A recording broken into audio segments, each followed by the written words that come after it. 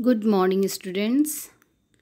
I am Neeta Singh, giving you lecture on chemistry, chapter number 2 Is matter around us pure? Before that, we already learned about matter in our surrounding, chapter number 1. In this chapter, we already seen what is the definition, what is the physical nature of matter, and characteristics of particle. I am just revising it again. Right? Now we are taking here definition. So, as we know, the things which occupy space and have some mass known as matter. हमें पता है कि कोई भी चीज़ जो कोई space occupy करती है या जिसमें कुछ मास होता है उसको हम मैटर बोलते हैं और इस मैटर का यदि फ़िज़िकल नेचर देखें तो फ़र्स्ट है matter is made up of particles छोटे छोटे पार्टिकल्स से मिलकर के मैटर बनता है। And particles of matter are very small in size और ये जो पार्टिकल्स होते हैं छोटे छोटे से काफ़ी स्मॉल साइज़ के होते हैं। Now characteristics of particles of matter ये भी हमने पढ़ चुके हैं। फ़र्स्ट है particles of matter have space between them थोड़ा सा याद करो, हम लोग मैंने बहुत सारे आपको प्रैक्टिकल्स करके भी बताए थे कि किस तरह से जो हमने ग्लास वाटर लिया है और उसमें यदि ये वन स्पून शुगर डालते हैं तो उसका लेवल ऊपर नहीं आता। तो ये इसी को शो करता है। सेकंड नंबर है particles of matter are continuously moving हमने इसमें रेड इंक ब्लू इंक डाल करके भी बताया था कि किस तरह से इंक के पार्टिकल्स वाटर में मूवमेंट कर रहे हैं। Particles of matter attract each other so ये सारे जो पॉइंट्स हैं we are taking just for revision now the topic starts from here. Matter is matter around us is pure or not? तो यहाँ पर ये जो क्वेश्चन आ रहा है बार बार कि मैटर प्योर है या इम्प्योर है? तो for common person pure means having no adulteration यदि हम किसी uh, किसी भी पर्सन से पूछते हैं कि प्योर का मतलब क्या होगा तो इसका मतलब वो क्या बताएगा कि यहाँ कोई एडल्ट्रेशन नहीं है यहाँ कोई मिलावट नहीं है। मतलब वो चीज़ जिसमें कोई मिलावट नहीं है, उसको हम प्योर बोलेंगे, वो ऐसा बोलेगा, ठीक है? जैसे एग्ज़ाम्पल के लिए घी है। तो प्योर घी का मतलब क्या हुआ? जैसे मैंने कहा कि काऊ घी है तो गाय का घी का मतलब हुआ कि वहाँ पे गाय का ही घी रहेगा, उसमें और भी कोई दूसरी मिलावट नहीं की गई है, ठीक? तो ये कौन ने बताया है? ये किसका व्यू है? ये है कॉमन पर्सन का। बट यदि हम साइंटिस्ट के अकॉर्डिंग देखें, कोई भी साइंटिस्ट है और उसके अकॉर्डिंग हम देखें कि मैटर प्योर है और इम्प्योर है या मिक्सचर है तो उसके लिए सबसे पहले उन्होंने एक दिया है एग्जांपल जैसे वाटर का। तो वाटर क्या होता है? वाटर के जो पार्टिकल होते हैं, सबको पता है? फॉर्मूला एच टू ओ होता है। अब यदि इसका मतलब हुआ कि यदि हमने एक गिलास भर के पानी लिया है तो उसमें सिर्फ़ एच टू ओ के ही पार्टिकल्स होंगे। उसमें कोई दूसरे और पार्टिकल्स नहीं होंगे। ठीक है? और इसमें यदि हम दूसरा लेते हैं मिल्क तो जो मिल्क होता है मिल्क में ये बोलते हैं कि हाँ हमारे यहाँ का मिल्क बहुत प्योर आ रहा है। तो क्या वास्तव में साइंटिस्ट के अकॉर्डिंग वो प्योर है? नो क्यों? बिकॉज़ मिल्क में तीन चार तरह के पार्टिकल्स मिक्स होते हैं। जैसे वाटर हुआ फैट पार्टिकल्स हुए प्रोटीन पार्टिकल्स हुए और भी बहुत सारे इसमें पार्टिकल्स होते हैं। तो इसका मतलब यहाँ पे तो सिंपल एक ही तरह के पार्टिकल नहीं है। जैसे वाटर में था कि वाटर में एक ही तरह के H two H two particle थे, लेकिन मिल्क में ऐसा नहीं है। इसमें वाटर के भी पार्टिकल आ गए। इसमें दूसरे जो जितने भी होते हैं, सारे पार्टिकल्स, फैट वाले, प्रोटीन्स वाले, ये सारे आ गए। ठीक है? तो अब इसके अकॉर्डिंग यदि हम देखें तो साइंटिस्ट ने फिर प्योर एंड मिक्सचर दोनों को डिफाइन किया।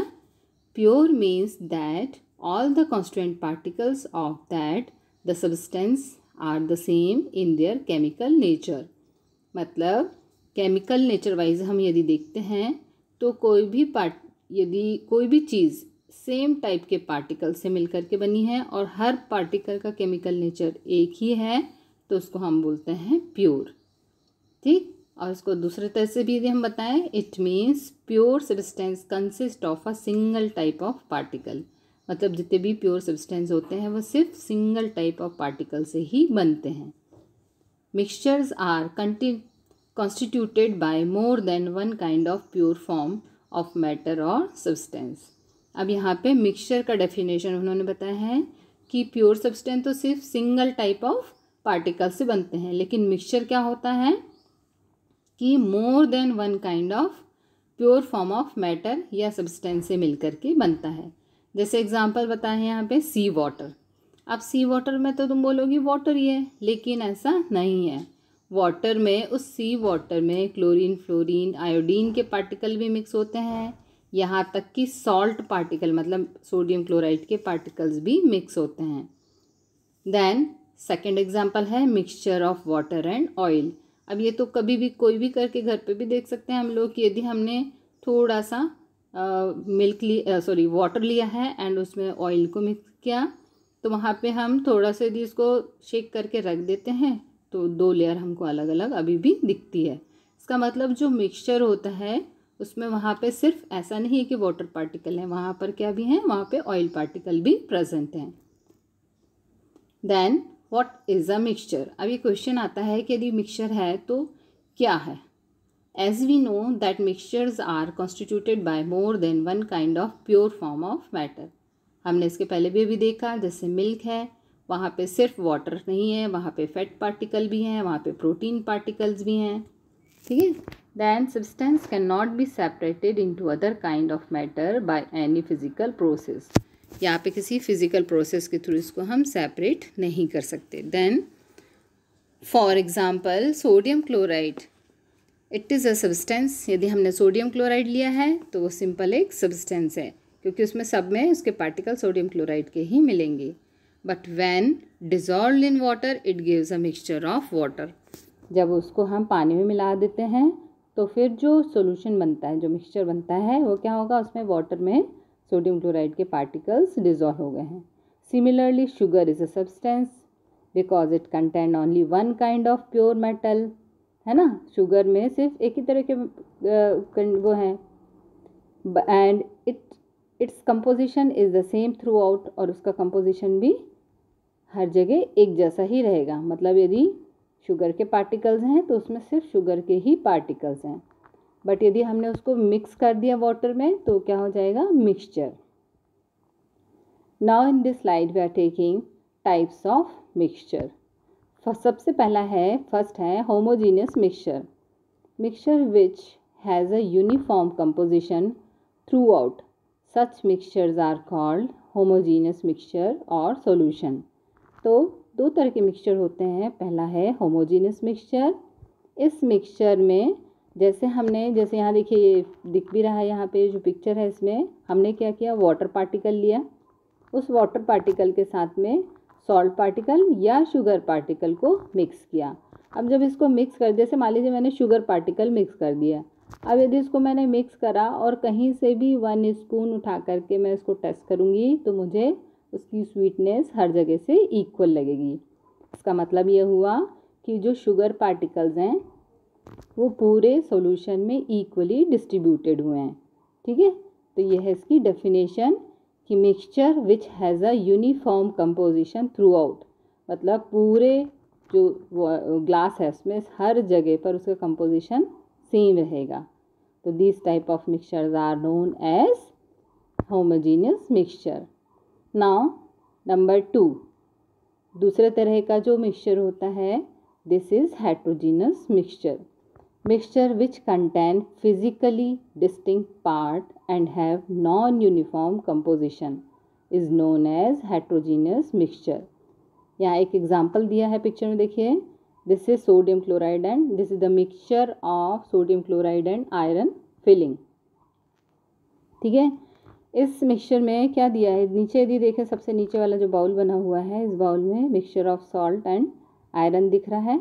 इस सॉल्ट एंड आयरन में के पास में यदि हम मैग्नेट ले करके आते हैं तो आयरन फिलिंग को अलग किया जा सकता है और सॉल्ट फिलिंग को अलग किया जा सकता है। तो यहाँ पर ये दोनों सेपरेट हो गए और अब ये पता चल रहा है कि ये जो था, नीचे वाला ये मिक्सचर था। ठीक है? तो अब यहाँ पे इन्होंने जो दिया है, ये जो पिक्चर दी हुई है, इस पिक्चर में sodium chloride and iron filling को मिक्स कर दिया गया था और फिर इसको सेपरेट कर कर बताया गया। तो इसका मतलब क्या हुआ? कि ये दोनों फिजिकली डिस्टिंग पार्ट हैं। तो mixture which contains physically distinct parts and have non uniform compositions is known as hydrogen अब what is the meaning of non uniform composition इसका मतलब ये हुआ कि यदि मैंने सॉल्ट को और आयरन फिलिंग को मिला दिया और स्पून से इसको अच्छे से शेक कर दिया तो ज़रूरी नहीं है कि यदि किसी भी पार्ट से मैं उसको उठाऊँगी तो उसका कंपोजिशन इक्वल आएगा। हो सकता है वहाँ पे सॉल्ट का पार्ट ज़्यादा हो आयरन फिलिंग कम हो, या दूसरी जगह आयरन फिलिंग ज़्यादा हो और सॉल्ट कम हो, है ना? तो इस तरह से ये क्या होते हैं? नॉन यूनिफॉर्म कंपोजिशन में पाए जाते हैं। ठीक है? स्टूडेंट ये था टाइप्स ऑफ़ मिक्सचर तो आज का जो हमारा ये है, इसमें हमने देखा कि मैटर दो तरह के होते हैं।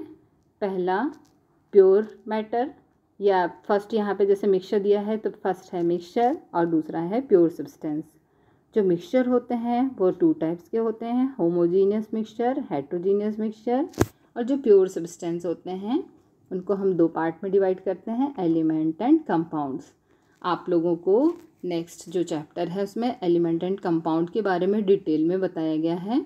आज के लिए लेक्चर नंबर वन में हम लोगों को यहीं तक देखना है. Thank you student